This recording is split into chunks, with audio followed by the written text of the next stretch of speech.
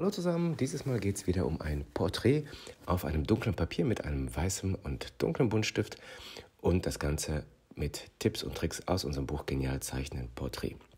Und wenn ihr vielleicht euer Talent irgendwie anderweitig ausprobieren möchtet, vielleicht in ein kreatives Studium, dann schaut auf unserem Design Campus, designcampus-akademieruhr.de. Dort findet ihr spannende Infos zu den Möglichkeiten, die ihr später habt, wenn ihr etwas Kreatives studieren möchtet. Ähm, so, hier eine kleine, kleiner Patzer. Äh, die Kamera hat leider nicht sofort gestartet, deshalb ist die kleine Vorskizze schon mal erfolgt. Ähm, tut uns sehr leid an dieser Stelle, ähm, aber das kennt ihr auch aus anderen Videos. Ähm, hier zeigen wir euch, wie man dann jetzt mit dem Kohlestift den die Ausarbeitung eines Porträts vornehmen kann. So, und man sieht das jetzt hier und dass wir uns als erstes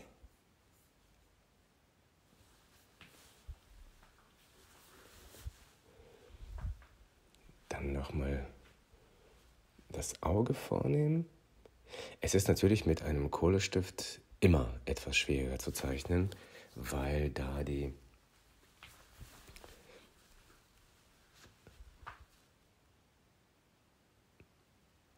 dieses, diese Feinheit, die fehlt einfach an dieser Stelle. Deshalb ist das immer so nicht ganz so leicht. Was aber auf jeden Fall gut damit machbar ist, natürlich Flächen zu ähm, verwischen, also so ein bisschen flächenartiger zu zeichnen.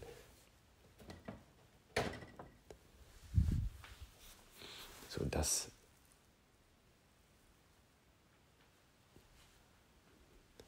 kann man auch hier sehr gut nachvollziehen, wenn man dann jetzt ein bisschen mit den Augenbrauen ähm, beginnt, die auszuarbeiten.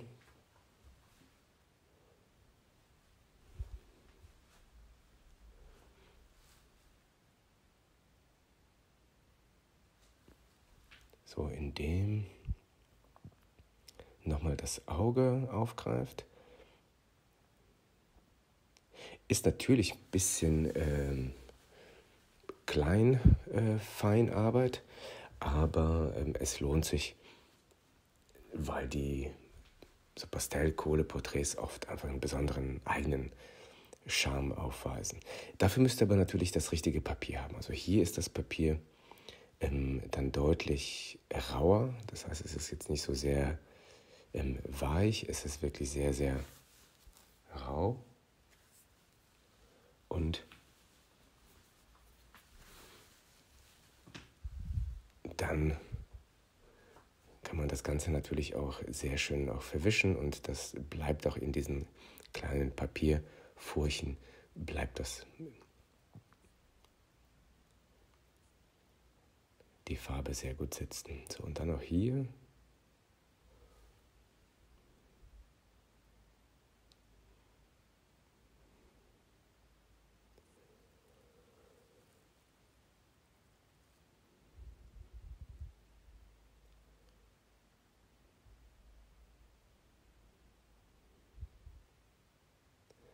Kann man das Ganze auch nochmal hier ganz schön ausarbeiten.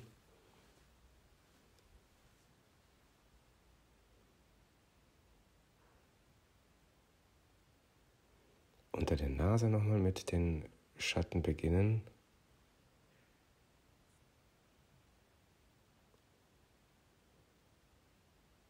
Und man sieht jetzt schon, was das ausmacht eigentlich, wenn ein bisschen Schatten nur dazu kommt. Macht das das Ganze sofort deutlich interessanter. Und jetzt auch hier.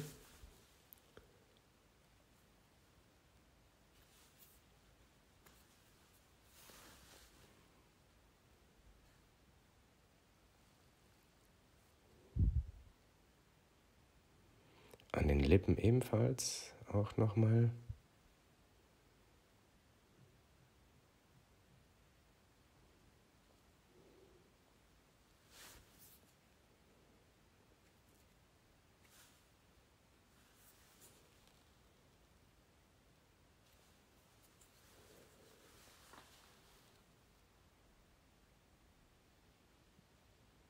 Und dann geht es hier runter zu den Mundwinkel, auch noch etwas Schatten hinzu. Und achtet darauf, es ist fast immer so die 45 Grad Winkelschraffur. Das ist ein bisschen einfacher, wenn man das Ganze so ausarbeitet.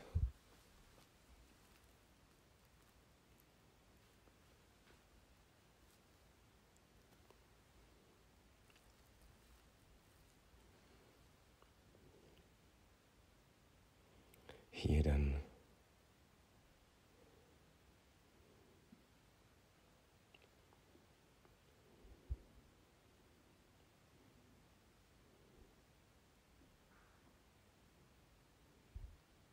geht es dann runter zum Hals. Das heißt, die 45 Grad Winkelschraffur, an der könnt ihr euch ganz einfach richten. Da weiß man, dass man nicht so sehr viel falsch machen kann. Und dann auch hier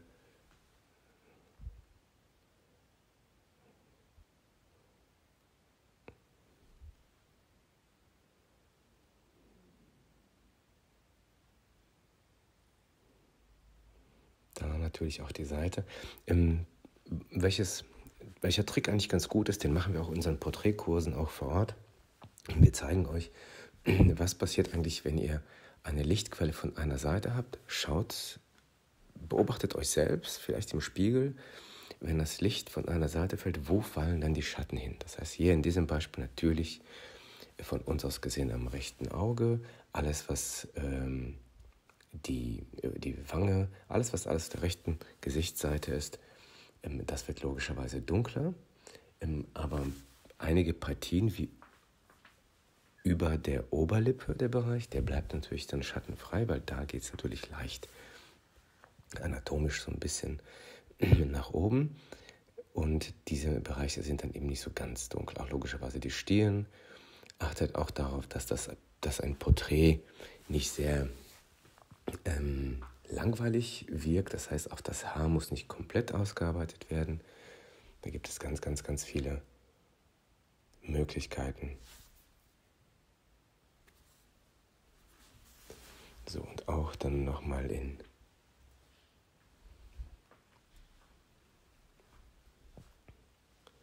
hier in dem Bereich nach oben hin.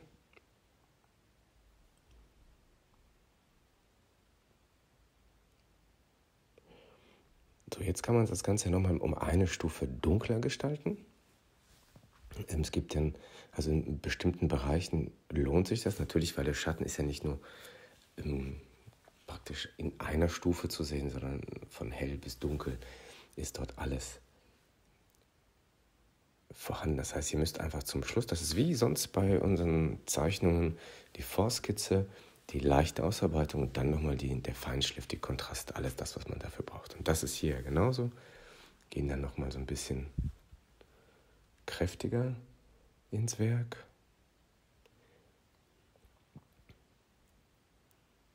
Und dann zum Schluss kommt noch der weiße Pastellstift, der dem Ganzen nochmal einen besonderen Look verleiht. Also eigentlich dieses Glänzende, was ich vorhin besprochen hatte, das ausgelassen wird, wird hier dann deutlich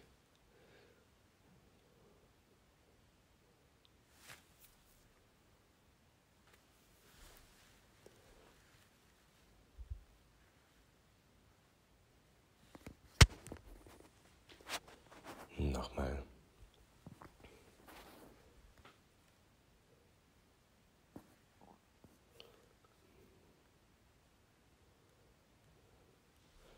Hier sieht man es auch nochmal.